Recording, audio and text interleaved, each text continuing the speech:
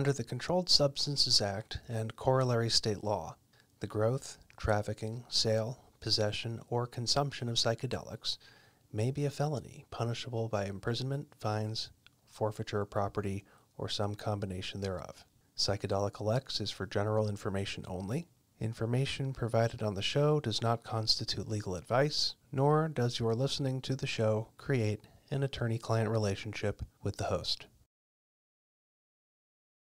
Hello, I'm attorney Gary Smith, and I want to welcome you to another episode of Psychedelica Lex, the Law of Psychedelics, my ongoing exploration of the question of the law of psychedelics.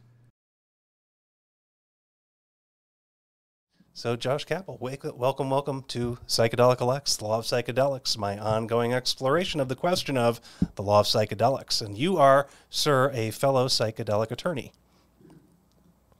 Thank you. Thank you, Gary. Thanks for having me. Oh, my, my pleasure.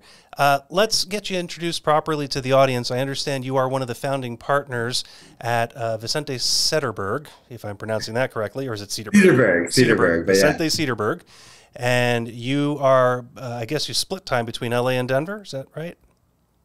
The, the, that's, yeah, that's correct. I mean, you know, you know, we, you know, we started Vicente Sederberg you know, on the cusp of medical cannabis legalization um, about, I guess, 12 years ago now. And, um, you know, in the last, oh, four or five years, I've been, you know, I'm licensed in California and licensed in, in Colorado, and I've been bouncing between the two, even though, you know, with the pandemic, I've been um, more, more in Colorado, I'd say. That's nicer in Colorado. I've been to both places. I used to live in San Diego too. Actually, I take that back. San Diego's amazing. I can't say enough nice things about it. But that's years ago. Yeah, San, San Diego, San Diego is pretty great, and and so is Denver. I mean, both both places are nice, you know. For sure.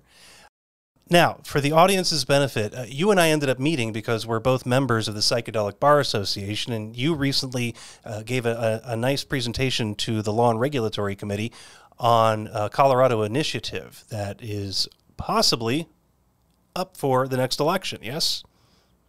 Yeah. No. So, so great news. Um, you know, breaking news this week is that you know the Natural Medicine Health Act is you know is the name of our initiative, Initiative 58, has qualified for the ballot in Colorado. So we will be on the ballot this November. Um, you know, it's a very transformative, you know, piece, and I'm super excited to talk about it. Okay, and and for statistics nerds, if you know, how many signatures did you need to qualify for the ballot, and how many did you actually obtain?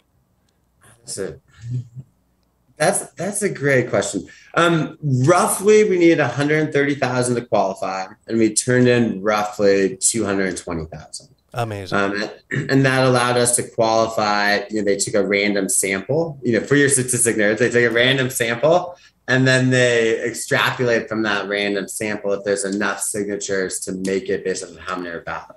And so we passed the random sample test um, until we qualify. Perfect. And for the folks at home who maybe don't have experience with political campaigns or trying to get initiatives onto a ballot, you have to acquire a certain number of signatures based upon a formula established by uh, your local law, which could be as uh, specifically high as a constitutional requirement or a local statute. And the deal is, if you don't obtain all of those necessary signatures, your item doesn't advance to get on the ballot. So, resultingly, it is often the case that there are folks out there who try to knock your signatures out by deeming them invalid or, or otherwise improper.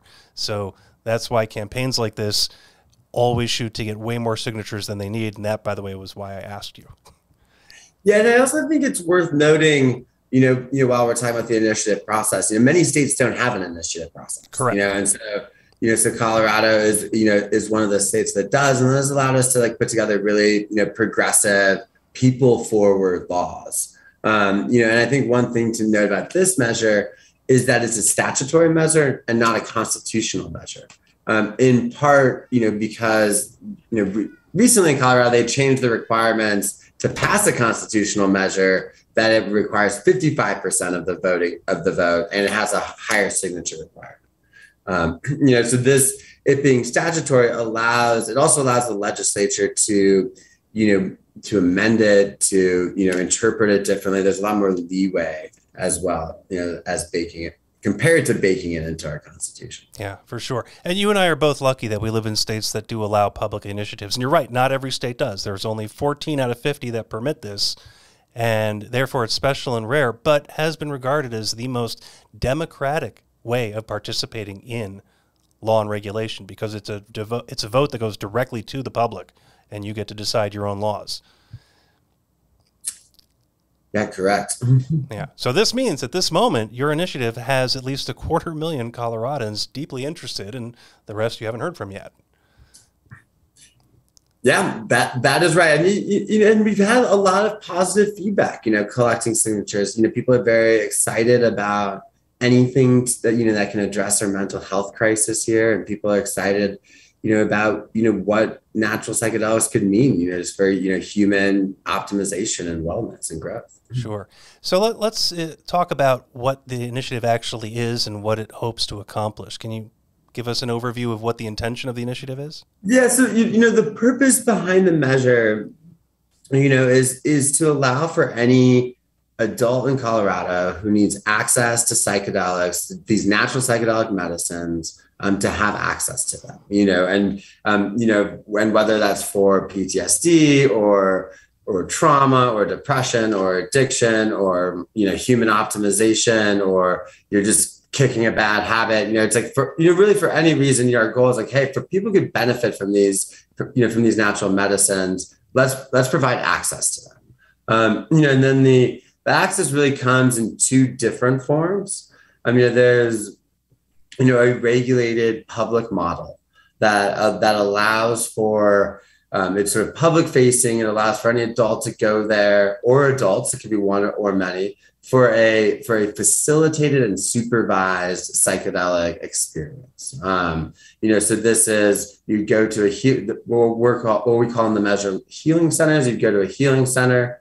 You would you know work with a licensed facilitator. There'd be a prep. There'd be a preparation session there'd be the actual experience you know, with the psilocybin or psilocybin, which is the first natural medicine that's permitted, and then there'd be an integration session. It all sort of t- the the actual psychedelic experience would take place at the at the healing center, and yeah, and so that's our sort of public facing model. And it's really important that there's not there's no retail sales contemplated here. It's not hey we're going to go to a healing center get a bunch of mushrooms and then go to the woods. It's hey, we're going to experience this at the healing center. So that's you know, so you know the first prong, you know, the first major prong of this, and then the second major prong is you know is around sort of like the decriminalization for personal use. And sort of our you know the purpose here was like hey can we provide access?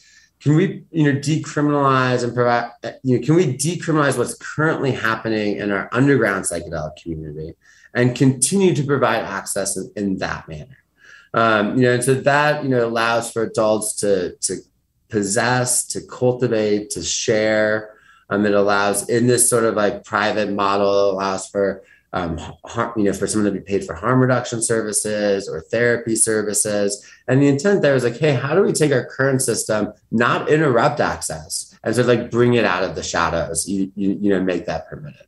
Um, there's is like a number of limitations on sort of like this private model where there's also you know sales aren't permitted and there's no advertising. You know, so it's like you know currently as our current psychedelic community works, there's not really advertising anyways. You know, so the idea is like, hey, let's you know keep this from happening. But you know, for those who haven't, you know, who don't have the privilege of being a part of that community, um, you know, they'll have this public-facing regulatory model. Could could I sum it up this way that that the goal there is permission, not promotion? I think that's great. You know, it's you know, it's you know, providing permission, you know, for the current community community as is without sort of like having them be able to promote all their services in an unregulated fashion. All right. Listen, if permission, not promotion shows up on t-shirts, 10%, okay? All right, all right, all right. Cool. So your your your your measure actually asks and answers two questions, which, which sounds like number one, decriminalizing so people can at least engage without the threat of of prosecution or jail. Uh, but then that leads to the obvious second question, which is, okay, great, we've decriminalized. Now, how do we get it? And you're answering that question too and you're taking out the illicit drug dealer from the scenario and putting in a responsible um, government approved agent effectively. Is that essentially what it would be? Yeah, on you know on the public facing side, yeah, it'd be sort of like a government approved you know facilitator and a government approved um, business, and then on sort of like the private you know permission non promotion side, um, yeah, it's just the current community, you know, sort of like anyone, but there's no sales allowed, so it's you know it's more of like a, a gift, you know, that the, the grow gather gift model is you know some of the uh, you know the decrim folks have have coined. Okay, and some of this to my ears has echoes of um, what's going on in Oregon right now. did you guys source any of your measure based off of anything that they wrote or did or, or have been pursuing? Yeah, so you know, you know, so I would like to consider like like the first parts or like the public facing part of our measure is very similar to Oregon. Um, I think you know there's a couple key differences you know that I'd like to you know that I think are worth highlighting. Um, but it is you know it's similar and you know and and so it's similar in the fact that it's on-site supervised use. You know, it starts with just psilocybin and psilocybin. Um, you know, the you know, then we can add in other products, but that's that's a difference. Um, and you know, and then it's sort of the facilitators are you know, there's no prerequisites to be a facilitator. You know, it'd be like a standalone sort of like facilitator training program.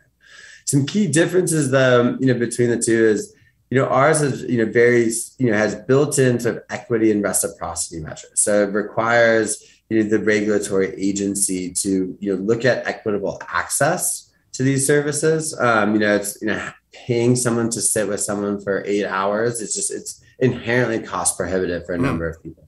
Yeah. Um, you know, and so, you know, there's, you know, so there's you know there's sort of a mandate to look at equitable access that also allows, and part of that mandate is a funded mandate, you know, so they can take money from this fund that's created to sort of like support those programs, and then also equitable ownership, um, you know, you know, of these businesses, like how you know, you know, there's a mandate for equitable ownership, and there's also sort of like a mandate for like geographical diversity, you know, that we don't want these you know facilities only in the major metropolitans and sort of like leaving certain communities out. Um, and then you know there's a piece as well that sort of like requires you know a report to be done every year that studies the efficacy of these programs. You know, like are they working? How what what how should we change it? Um, you know, so that's like you know I think a key piece, you know, key difference. And along those same lines, you know, there's there's an advisory board that's set up, and there's an advisory board in Oregon. But the mandate of the advisory board is also to sort of look, look at what sort of like cultural practices are, are happening you know, and, and what is, you know, and what's happening, you know, to, you know, you know, these, you know, traditions, you know, you know that we, a lot of these like set and setting in different um, parts of psilocybin therapy have really taken from these prior traditions. So a lot of, you know, there's a mandate to sort of like look at this and how do we address this and like, and how do we tinker with the program to sort of like honor those that came before us. Um, you know, so that's like a, I think a key piece. Um, you know, it's like a big difference. There's also a lot more regulatory flexibility in our measure than in Oregon. Um, you know, so it's you know, which you know could go either way. You know, in some cases that's a great thing, in some cases that's yeah. Thing. That's that's always the toughest thing to do when drafting regulatory legislation is how tight do you make the guitar strings, right? Do you hem, mm. hem that agency in so they can't move and it breaks, or do you keep it so slack they don't get anything done? Right. Yeah, and you you know it's you know I think it just you know it depends on a lot of times it depends on like your how much you trust government, you know, and that, and I, and and really, it's like sometimes I like, like to look at that question is like how much do you distrust government, you know, you know, it's well, like where. This- yeah, well, depending on which seat you're in, that's a fair question yeah. in both directions. So sure. Yeah. And the um, yeah, and there's like some other pieces, you know, so you know that are different, you know, than like the Oregon model. Um, one is that there's you know there's not a local opt out, like localities can't ban these businesses. Um, there's sort of provisions to allow for Colorado Medicaid to like, you know, hopefully reimburse maybe like the preparation or the integration session if those services would otherwise be covered. Um, there's provisions that, you know, would create a tiered facilitator training. So it's like, you know, the idea behind that is, you know, if someone's going for you know, for natural medicine services and they want to work, you know, and they need to like dive into trauma or they're dealing with PTSD or they're you know, dealing with depression, that the, tr- the facilitators have a different skill set than if it's like, hey, I am going for, you know, my, you know, for, you know, to figure out what I want to do in the next 10 years. Or if I'm, you know, or a completely different skill set, like, hey, I'm going for like a spiritual experience. Like there are different sort of like skill sets that should be required from the facilitators based off of like the participant and the indication and the and the why. Mm. I mean, so I think that's like a you know a big difference as well. Yeah, I, I like that particular nuance especially. Um, because you're you're absolutely right. People approach these substances for a variety of reasons and having a one size fits all program eh, works for some, not for all. This sounds great. Yeah, and and part of it too, it's like maybe you know, and I, I get hopeful when I think about like the regulations that come out, but it's going to be a lot of work, you know. But you know, like like I like to see that hey hey maybe there's a, a you know there's different like levels of facilitator training that like give you more privileges of like the stuff you could do. So it's like you don't so we don't require folks who want to participate as a facilitator to like dive into all of these hours, but they can sort of like step into it, you know, based off of, you know, based off of the participants. And and there's also it also clearly states too that, you know, there's, you know, credit given on the training for those who have had um, practice or have worked with these natural medicines in the past. Mm-hmm. Um, and also, you know, who have worked in like a, a therapy setting in the past. You know, so it's like the idea is like, hey, how do we again sort of like bring in, you know, you know, to bring in those who know the most about things. Yeah, this is going to be such fertile ground as time moves forward to try to ferret out what good standards are for different facilitators and what different types of facilitators and who can qualify and what those qualifications are and you know what the regulatory options are on those people. That's all great stuff. That's got to be invented. Yeah because it's you know like you know it's a very interesting it's a very interesting debate because on one hand it's hey we want this to be accessible we don't want to create barriers to entry that are unreasonable or that only those who are well off can afford the training on the other hand you know it's like we're also dealing with schedule one very potent medicines you know that you know have you know lasting impacts on people's psyches you know you know, in, in many cases for good, but not always, you know? And so, you know, it's like, you know, when I look at, you know, it's like, hey, is, you know, should the training be, you know, more, should be like 500 hours, like a yoga teacher, or should it be 20 years, like a psychiatrist? It's like, you know, I think there's like, you know, you know, I think how this will play out, it'll be more along like the smaller, like 500 hours or, or less, but we'll see. You know, I think there's different people, you know, you know, just all over the spectrum about what sort of training should be required. Mm.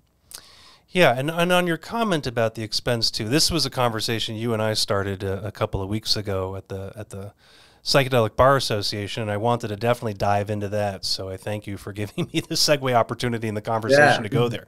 So setting the stage for for the listeners, these are incredibly expensive businesses to open and, and get operating. Uh, you've got facilities that you've either got to own or lease, and because of the presence and, and inclusion of Schedule One substances, that creates a whole panoply of problems because you're going to have landlords who are going to feel really uncomfortable because if, for example, they themselves have mortgages they have to pay, typically those mortgages are going to include terms and clauses that say, hey, uh, you can't use the mortgage facilities for illegal purposes. Schedule one substances are, of course, illegal purposes, right. and that you know could trigger foreclosures or defaults for for landowners. So you've got to find either a really risk tolerant landowner or come up with the money yourself and own that land, so you don't have to worry about it other than for yourself. Uh, then you know you've got to worry about insurance. And right now, the insurance market for psychedelics is virtually non-existent in this context. There are some companies that are out there. They're not a paper companies, and their premiums are hellaciously expensive. Hellaciously, as the folks in Oregon are learning, unfortunately. So those are just two of multiple barriers. So so Josh, what's the conversation in Colorado like about that? How are people thinking they're going to surmount those problems, or do they not even acknowledge them as problems? No, I mean I think. Great question. You know, and I think that there's like a couple a couple pieces. You know, I think there's a couple pieces of this puzzle. You know, um, one is, you know, it's like part of, you know, us having this decrim model in this allows for like existing therapists to continue. You know, you know, it doesn't require, you know, it doesn't require them to obtain a property and get a license, and you know, they can kind of just continue what they're doing. You know, so you know, it so it shouldn't, in that sense, like actually increase cost from what's currently happening.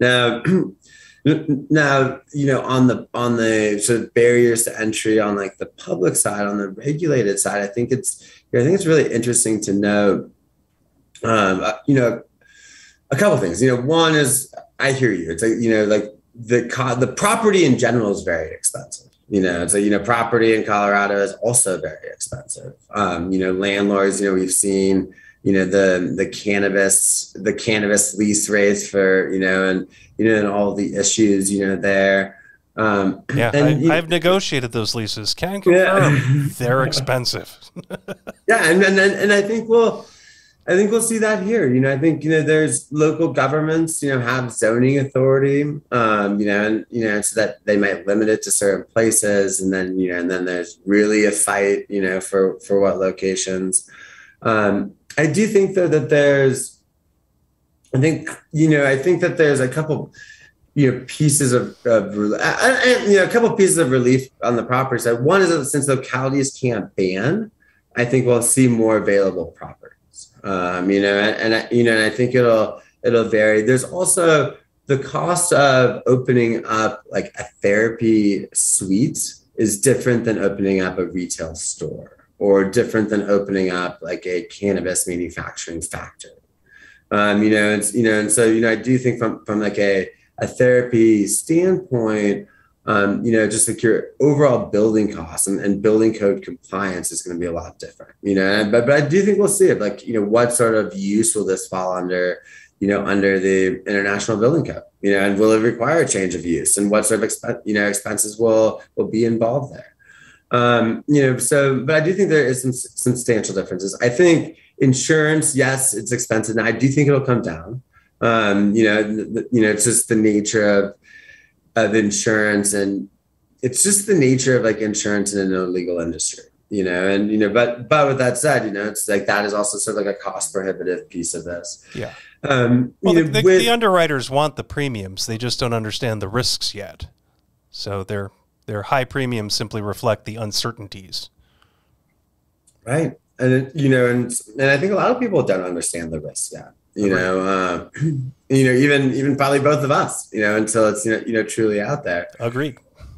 Um, but there is, you know, it's like, like like I mentioned earlier, the one thing we have in Colorado is that there's a fund that's created, um, you know, that sort of it's based off of fees of these businesses based off of their size you know, so the larger businesses will pay higher fees. And with that fund, you know, the there is regulatory authority to use that fund for all those equity provisions I talked about earlier. Hmm. Um, you know, so it's like how much money will be in that fund? What will be the focus of it? Will be, you know, will the focus be, hey, let we gotta stand at the regulatory program and there's nothing left, or is there, hey, we can actually have something left and like work on this equitable access issue, or you know, or sort of like financial diversity amongst ownership in these businesses.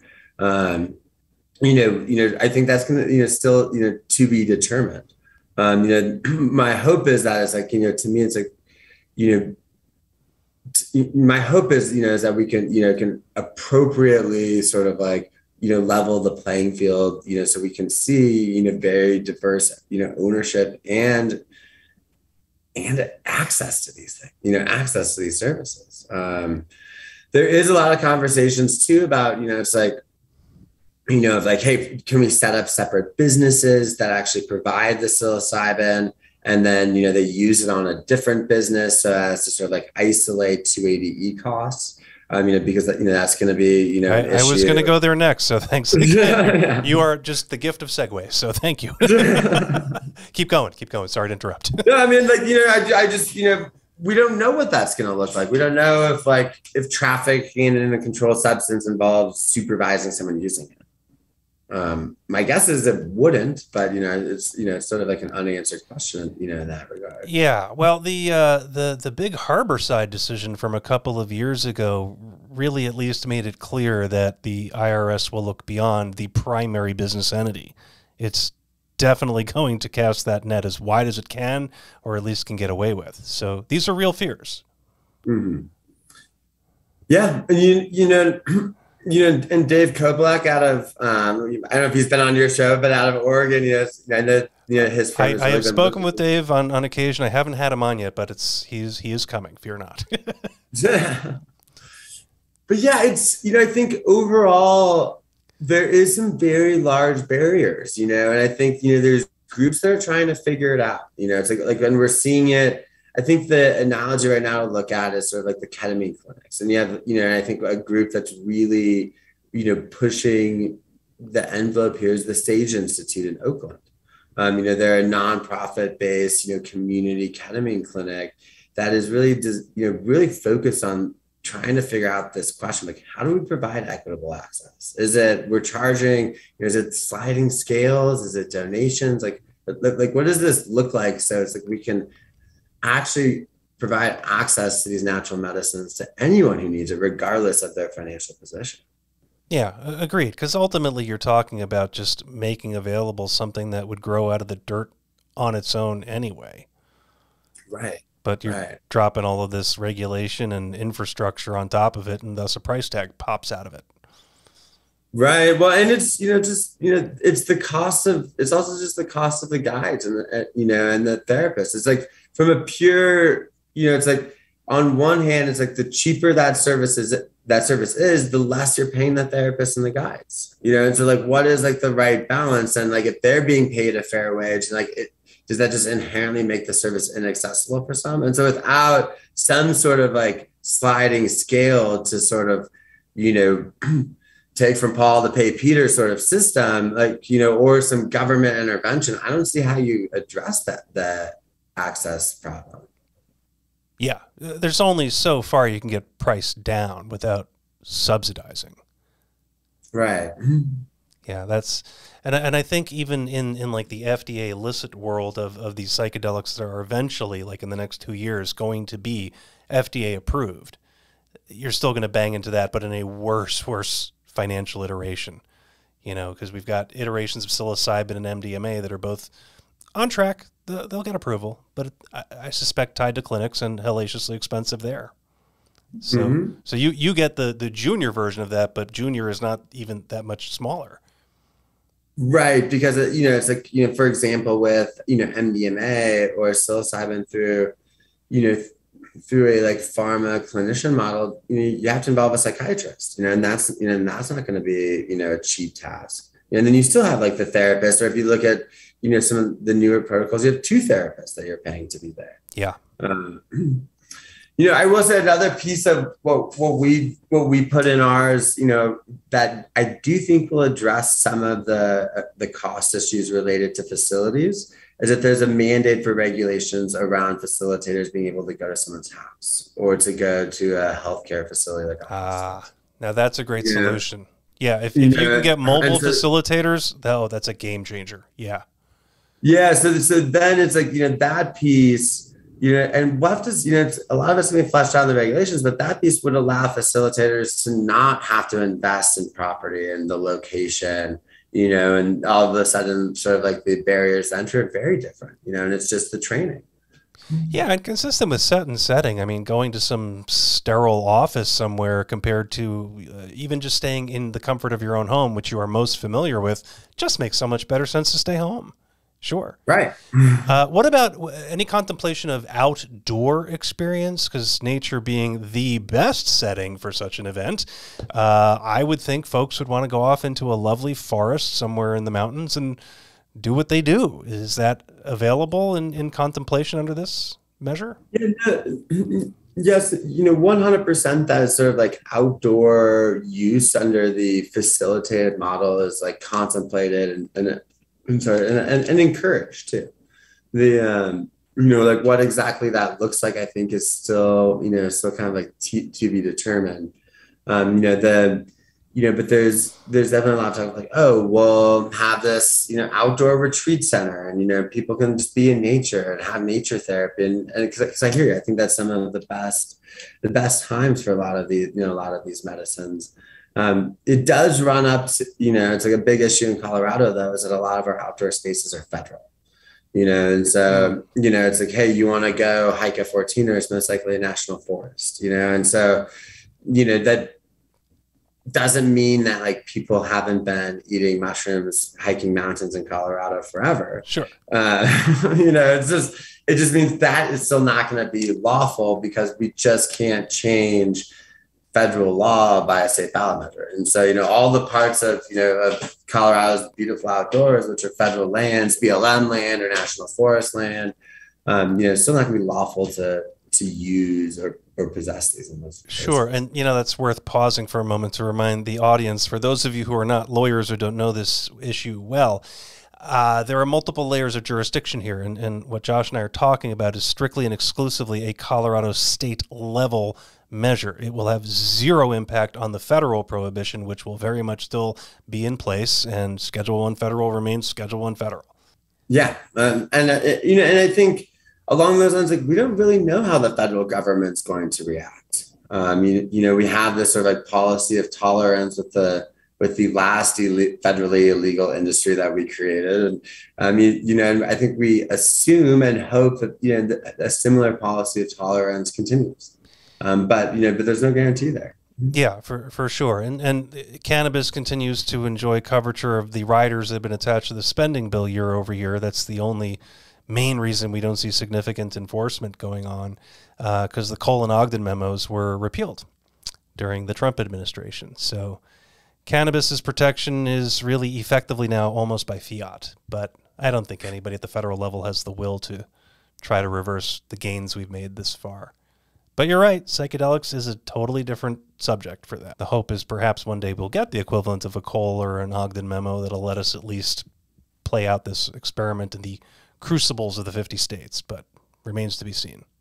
Yeah, and, I also think it's like a very good reason too why we have this two-tiered system in the in the Natural Medicine Health Act, where we have this like public regulatory model and also this you know permissive decrim model because if if the feds do say like hey we're not going to let you move forward on this regulatory model we're going to target these businesses it doesn't you know it doesn't for you know we've already changed state law and we still have this you know permissive decrim model. Yeah and that's always a good first step. So what's uh, prediction as far as uh, success at the ballot box? Going in with high confidence? Pardon the pun. You know i think it it really just depends. You know, there's there's a you know hundred some maybe ninety days until election day. Um, a lot can happen. There's a lot of money that needs to be raised, and there's a lot of messaging you know that needs to happen. I mean, the truth of the matter is is you know a lot of the public doesn't really know much about you know psychedelics. You know, you know, still it's you know I think with Michael Pollan's Netflix documentaries and a couple other pieces is like becoming more of a mainstream issue. But like what we've seen is like a lot of the public doesn't know, and so there need, there's a lot of education that has to happen, and you know, and you know, so yeah, so it's like I think if you know if everything can can come together, if we can sort of like rally the supporters and garner the support, I think you know there's a very very good chance of success. Are there any vocal opponents that are out there?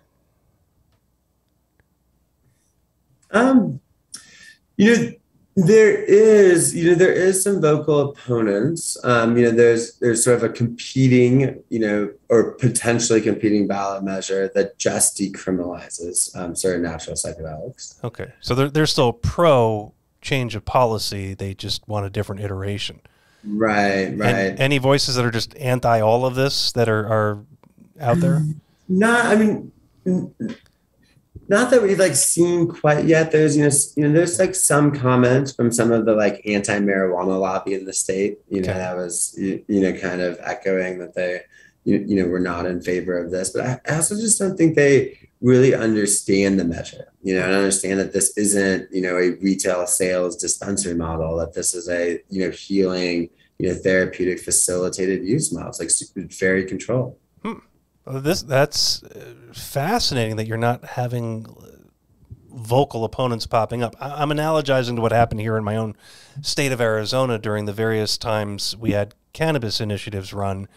Um, and each time, man, uh, prosecutors, county attorney plural came out openly, vocally opposed to this. Police agencies came out openly, vocally opposed to this it all passed and the sky didn't fall and everything's great. But at least, you know, we had identified naysayers who were vocal about it. I'm really surprised you don't have that in Colorado. Happy to hear it, by the way. Don't misunderstand the message. Just surprised. So that's that's a nice portent going into the election. Right. I will also say, you know, knock on wood, you know, we just qualified for the ballot. You know, and so I think, you know, you know, in Colorado, many, many people start gathering signatures, you know, and, and you know, and not as many actually qualify for the ballot. So I think we'll see, you know, a conversation of the pros and cons, you know, really, you know, really start to take place over the next, you know, four months here, I guess three and a half months. Um, so, you know, I, we'll see who comes out, you know, and, yeah. you know, in support of it and in who, who, against it. I think it'll be surprising on both sides. Yeah, I'm really eager to hear what the, the anti people have to say. I'd love to know what today's current logical arguments are in opposition to this because I, I I'm just stymied. I would love to hear it if it exists. Yeah, the well, what I find fascinating by the by the decrim only camp is I think one of their main arguments, and they're just in the Denver Post about this, is that our measure will like corporatize psychedelics. You know that there's this like fear of the you know of the corporatization of psychedelics, um, and and I and I get that. I have like I share you know it's like I share I share that concern. Um, and I think there's like a couple key things of why I think like what we're doing will actually like limit that. But what I will note is that like decrim only doesn't stop corporatization.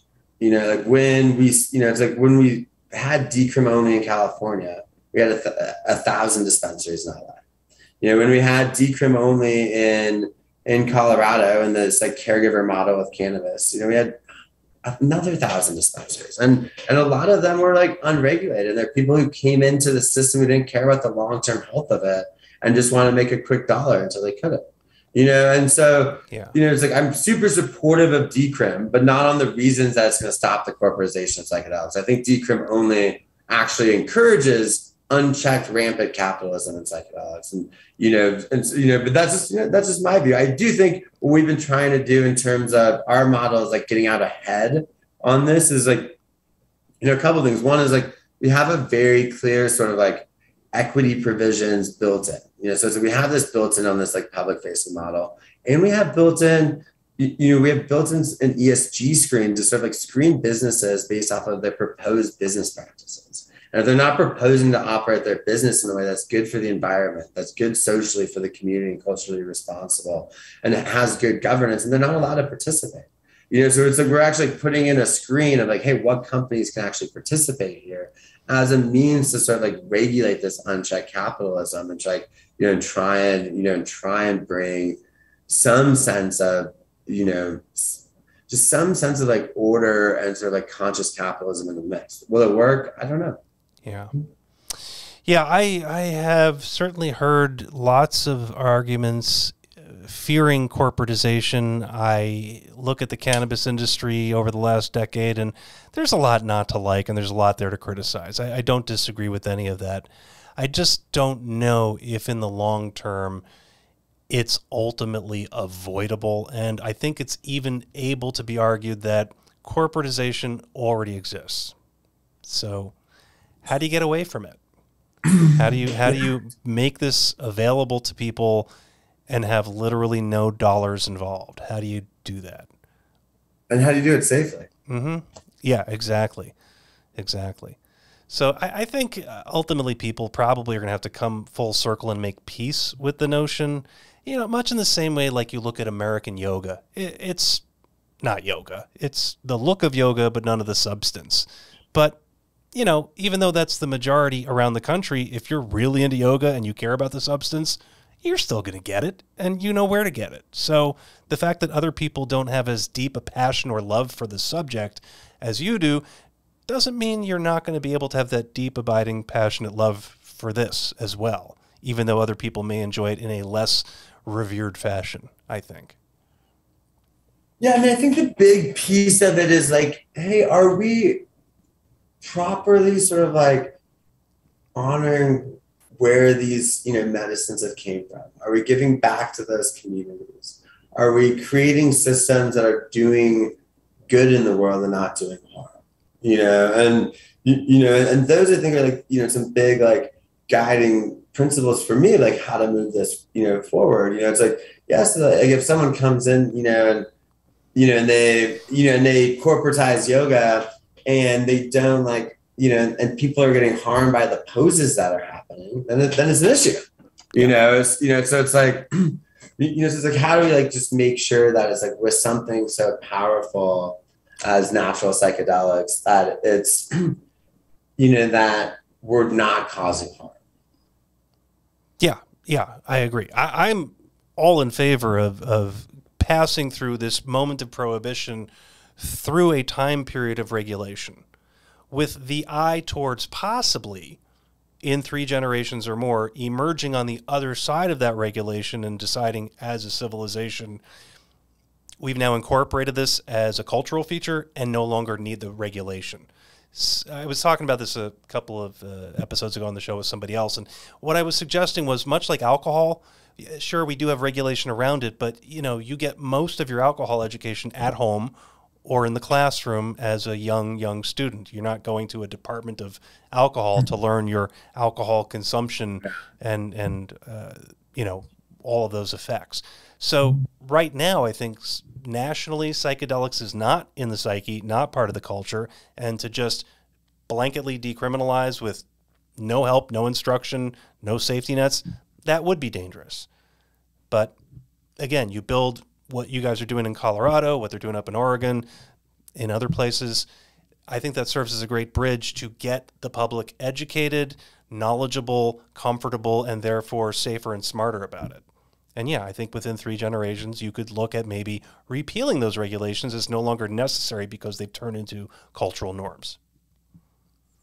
Yeah, I mean, hopefully yeah hopefully sooner you know the um, you know you definitely get a difficulty once you get entrenched regulatory bodies but um, no argument no argument. But i'd rather have the entrenched regulatory body than total prohibition. Agreed.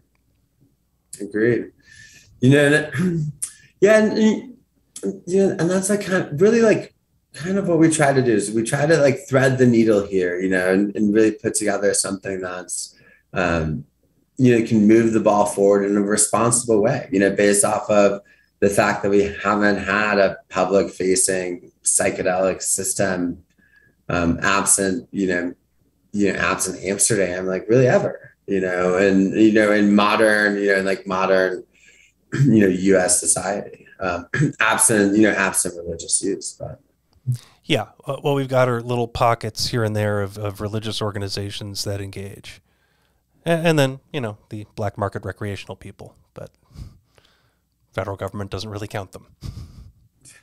well, not on the list we'd want them to count them. Yeah, no, that's true. You, you, know, and it's just a start. You know, I think that there's a lot of work.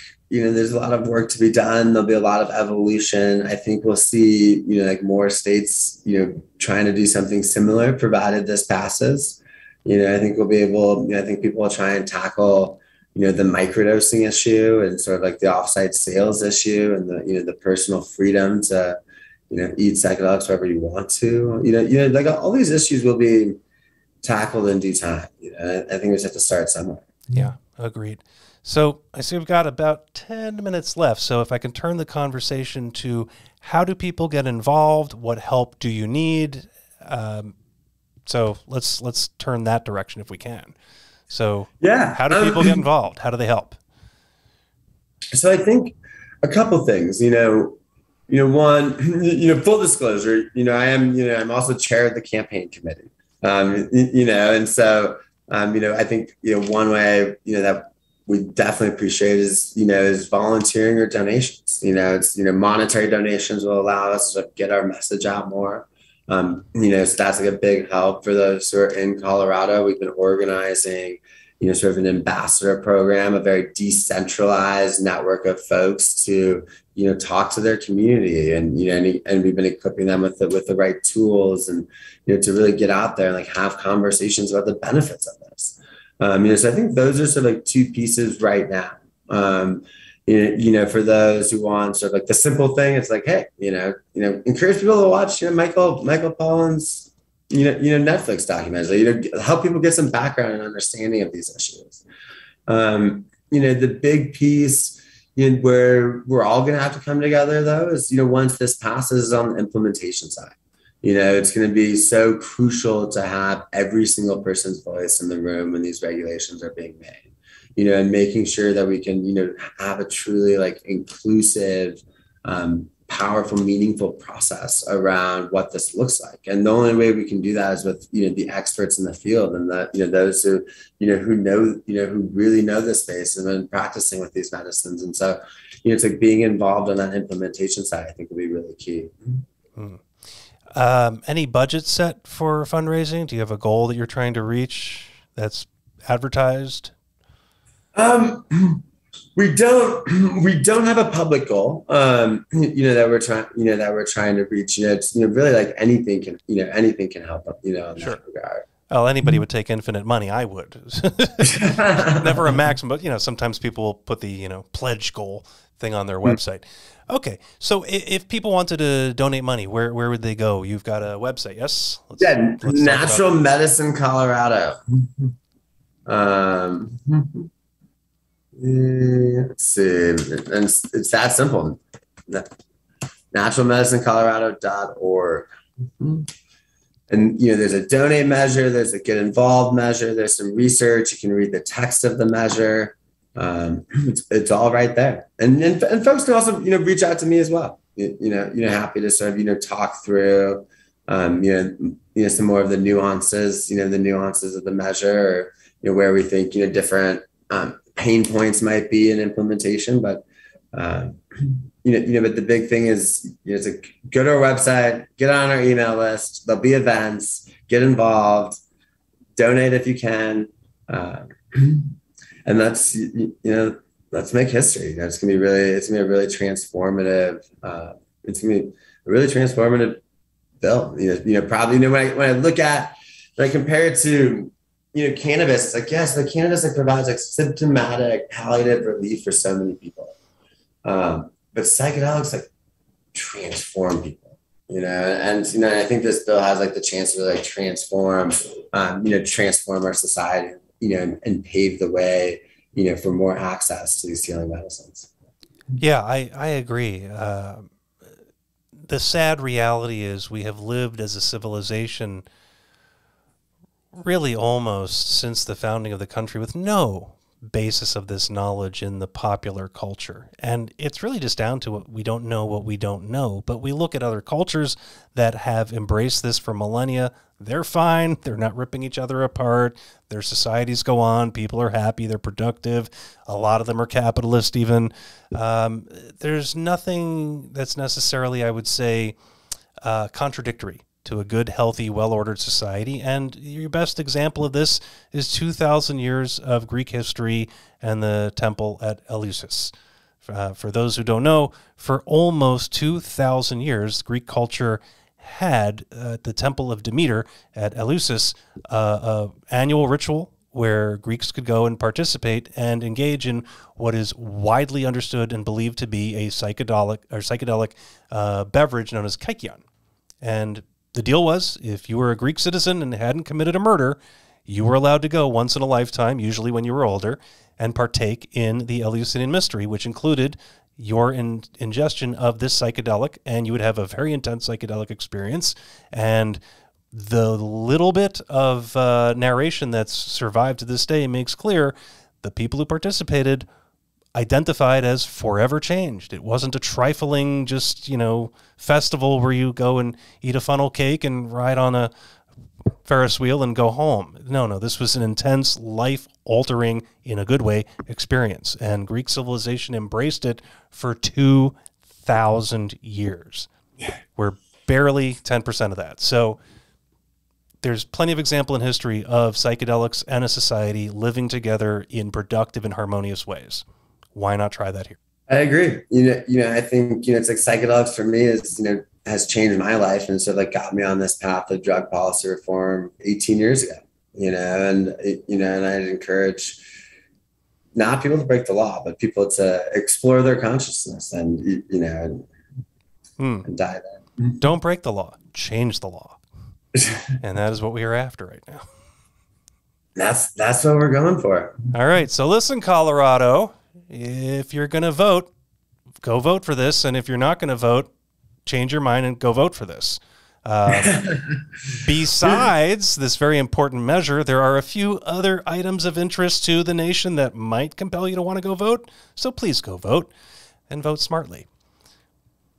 Josh, I give you the agree. last word. What do you want to say?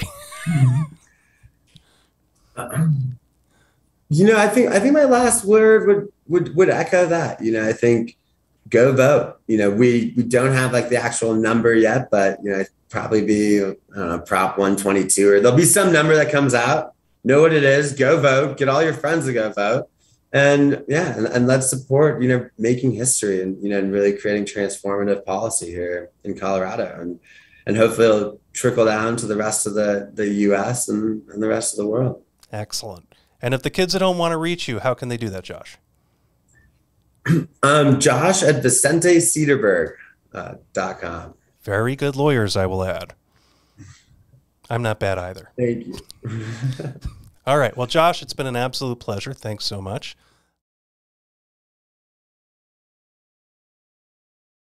Have a question about psychedelics and the law? You're welcome to submit them. Please send your questions to admin at psychedelicalex.com.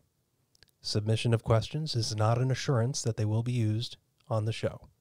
Also, please be aware that neither the submission of a question nor a response creates an attorney client privilege between you and the show's host, nor does an answer constitute legal advice.